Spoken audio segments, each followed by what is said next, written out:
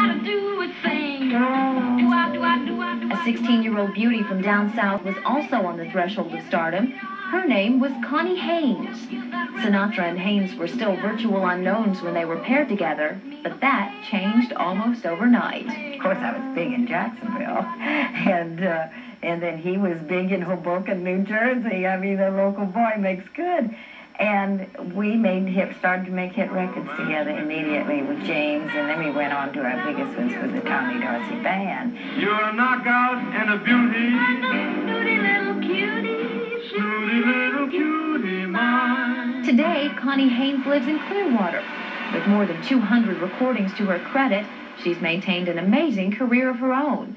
But her memories of work and play with Old Blue Eyes have never dimmed. Frank and I sang together for three straight years, day and night. For tears. Even Sinatra's own daughter, who produced the CBS miniseries, didn't offer a very sympathetic portrayal of her father.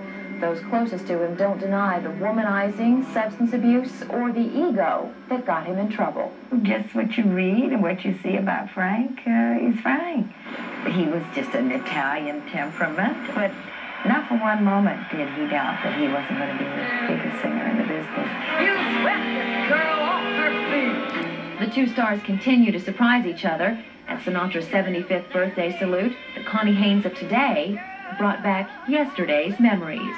I think even at his age, he's got sex appeal, and there'll never be another Frank Sinatra. Love you, Frank.